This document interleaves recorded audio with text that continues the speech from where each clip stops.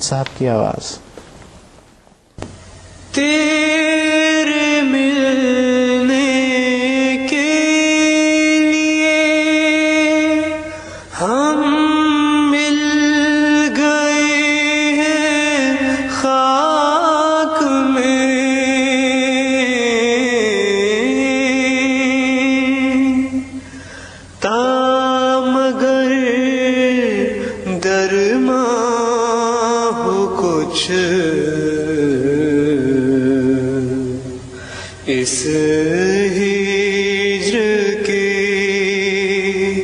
Ah.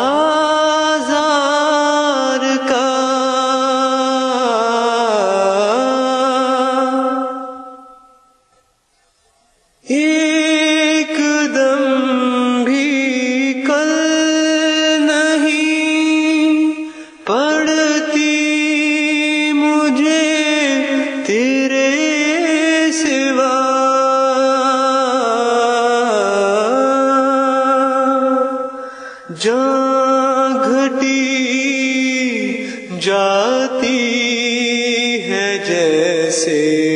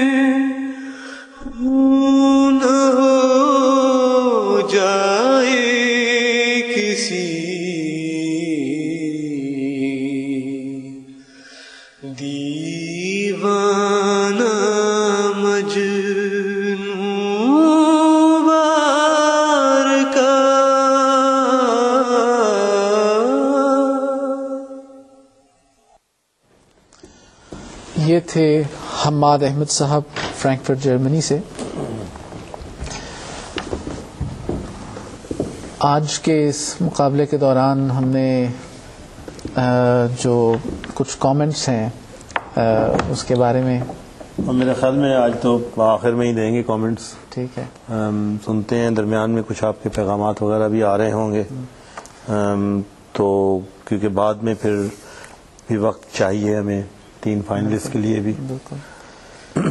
इसके अलावा एक बात जो क्लियर करनी थी कि कुछ लोगों ने शायद आप बता रहे थे कि हमें बजाय एक नज्म के अगर चॉइस देते शम्स दो तीन नज़मों की चॉइस देते कि उनमें से कोई अपनी मर्ज़ी की नज्म रिकॉर्ड करके भेज दे। तो वो भी अच्छा था बहुत अच्छा आइडिया था।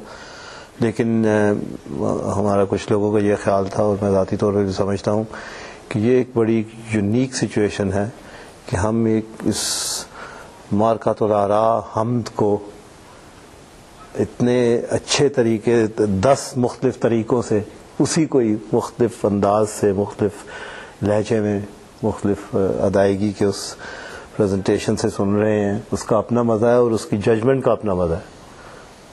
उस, उस हवाले से मैं समझता हूँ कि एक बड़ी यूनिक चीज़ है। मुख्तलिफ़ नज़मों को जज करना एक बात है लेकिन एक ही नज़म का जो ये क्राइटेरिया है कि उसको पढ़ा जाए उस हवाले से हम चाहते थे कि दस लोगों को ये मौका दिया जाए कि एक चीज़ को कैसे बनाते हैं। और फिर उसमें से देखा जाए कि उस हाँ। चीज़ को सबसे खूबसूरती से क्रिएटिविटी का जो है वैसे सब खूब बहुत अ, बहुत अच्छी तर्जों में और बहुत खूबसूरती के साथ अभी तक जो दो सुनी है मैं समझता हूँ कि ये तो मतलब हर चीज़ को मात कर रहे हैं अपने अपने खुद अपने पिछले स्टैंडर्ड्स को भी। हाँ जी। तो और लगता है कि हमारे पिछले दो प्रोग्रामों के बाद इनमें खुद लोगों में अपने में निखार आ रहा है निखार आ रहा है। ये एक किसी ने बारिया साहिबा ने कनाडा से एक तजवीज़ भेजी है कि अगर मुमकिन हो तो एम टी ए नज़मों की नज़में पढ़ने की हिस्ट्री के ऊपर एक डॉक्यूमेंट्री बनाए और वो दिखाए कि कब से हमारी जमात में ये नज़में पढ़ी जा रही हैं और किस तरह से और कब ये सारा सिलसिला शुरू हुआ। एडिशनल वकील साहब यहाँ तशरीफ़ रखते हैं हमें किसी और तसनीफ। तसनीफ साहब तो आपके पास तो रिकॉर्ड होगा इस किस्म के नज़में पढ़ने का या ऐसा रिकॉर्ड तो जमा तो नहीं किया गया लेकिन जिस सबको पता है ये तो हज़रत मसीह मऊदलाम के ज़माने से चला आ रहा है। तब से लोग नज़में पढ़ रहे हैं वो जो फोनोग्राफ बड़े- बड़े- पढ़ी गई और रिकॉर्ड करवाई गई वो तो उस वक्त से चला आ रहा है वो उससे तो पहले से चला आ के रहा है। लिए मतलब जो मीडिया जो भी अवेलेबल था उस वक्त उस ये कि हज़रत मसीह मऊदलाम की मौजूदगी में बाज सहाबा जो थे वो भी नज़में पढ़ते रहे हैं वो भी रिवायात में आता है तो ये तो बहरहाल उस वक्त से चला आ रहा है। और बल्कि अहदीस से पता लगता है कि हज़रत सल्लल्लाहु अलैहि वसल्लम ने भी अशार सुने। अच्छा नहीं ये हज़रत मसीह मसीम की बात कर रहे हैं कि वो पहले की भी नहीं मैं तो वैसे एक हाँ। तस्करा कर रहा हूँ कि तो जमात में बड़े बड़े तारीखी लोग नज़में पढ़ने वाले साहब सेवी साहब शबीर साहब वगैरह।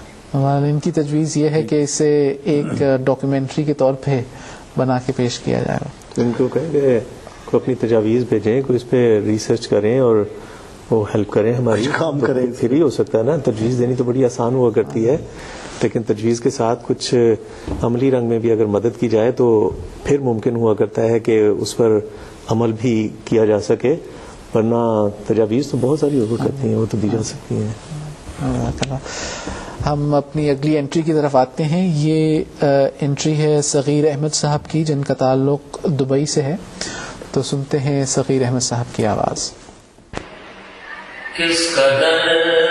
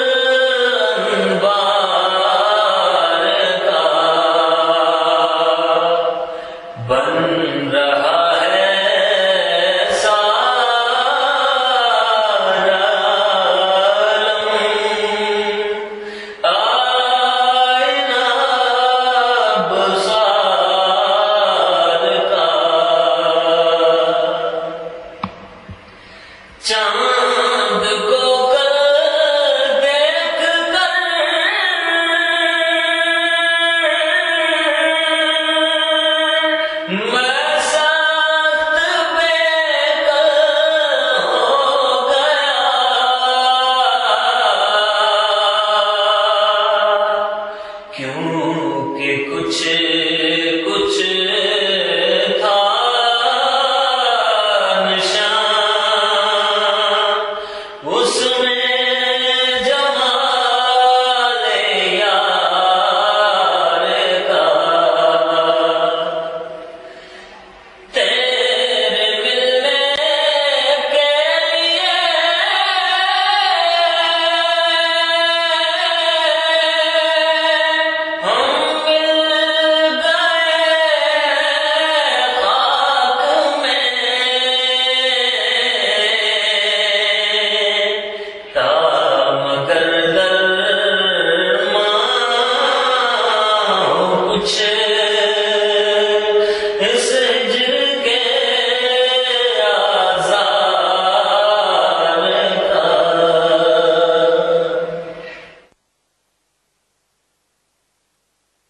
थे, ये थे दुबई के सग़ीर अहमद कुरैशी साहब, जिनकी आवाज़ हम सुन रहे थे। बहुत सी तजावीज़ और मशवरे जो हैं हमें मौसूल हो रहे हैं। अब्दुल लतीफ़ मीर साहब ने जर्मनी से लिखा है कि क्या ये बेहतर ना होता कि हम रिकॉर्डिंग के भी रूल्स और रेगुलेशंस देते जैसे कुछ लोग जो हैं वो एको के साथ भेज रहे हैं और कुछ बगैर एको के तो उस सिलसिले में क्या हल है आपके पास? वो तो ये है कि हम जितनी मर्ज़ी तफा- तफसील में चले जाते और ज़्यादा कॉम्प्लिकेटेड करते जाते। एक क्राइटेरिया दिया गया था कि नॉर्मल रिकॉर्डिंग में हो लेकिन उससे कोई फ़र्क नहीं पड़ता क्योंकि अगर किसी ने इफेक्ट्स डाल के भेजी भी है तो यही मकसद है हमारा सेंसिटिव हेडफोन्स पे सुनने का कि वो फ़िल्टर हो जाती है और असल आवाज़ पता चलती है कि क्या है। ज़्यादा उससे कोई खा, खास फ़र्क नहीं पड़ रहा किसी की परफॉर्मेंस में और वैसे भी हम अ, खुद भी जिनकी बिल्कुल फ्लैट रिकॉर्डिंग्स आई हैं उनके ऊपर हम खुद भी हाँ थोड़ा सा कर रहे हैं। हैं ताकि वो एक लेवल पे आ जाएँ जी। आ, अगली एंट्री की तरफ़ आते हैं प्रोग्राम की। ये तारिक रशीदुद्दीन साहब की आवाज़ है और इनका ताल्लुक है ब्रैम्पटन कनाडा से। किस कदर जार